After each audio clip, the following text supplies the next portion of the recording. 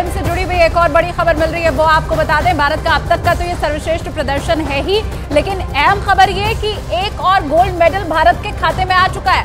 पुरुष क्रिकेट में भारत को मिला गोल्ड मेडल और ये 27वां गोल्ड मेडल भारत ने जीता है। अहम खबर इस वक्त की, एशियन गेम्स में भारत को एक और गोल्ड मेडल मिला। पुरुष क्रिकेट टीम में भारत ने ये गोल्ड मेडल जीता है। तो बड़ी खबर, अहम खबर और अच्छी खबर भारत के लिए, जब 27वां गोल्ड मेडल भारत ने अपने नाम किया है और एशियन गेम्स में एक और पदक इसी के साथ भारत की झोली में आ चुका है।